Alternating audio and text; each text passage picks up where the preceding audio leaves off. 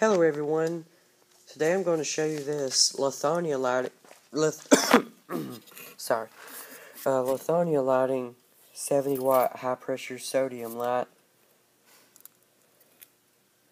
It's the same as your Cooper lighting lights. Uh, it's just built differently.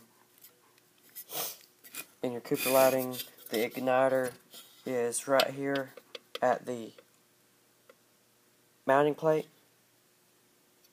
and in your Lithonia it is down here at the bottom.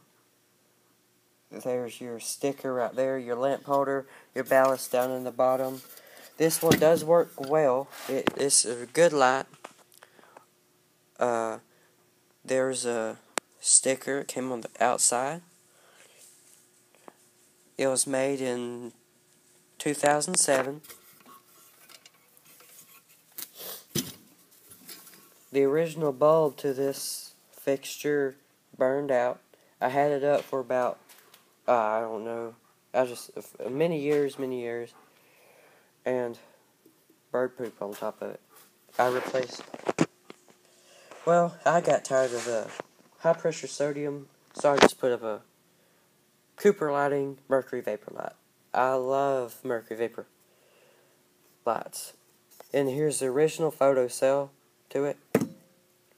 And the globe, I cut it out big enough for it to be able to go on a mercury vapor light.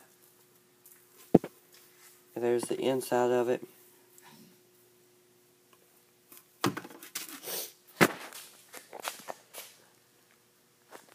And I'll have a separate video of this fixture turning on.